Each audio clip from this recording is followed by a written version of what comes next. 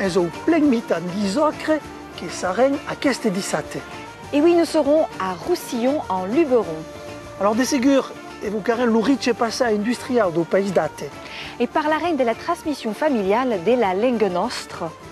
Nous rencontrerons le poète Serge Beck Vaki, c'est le samedi aux alentours de 10h50 sur France 3.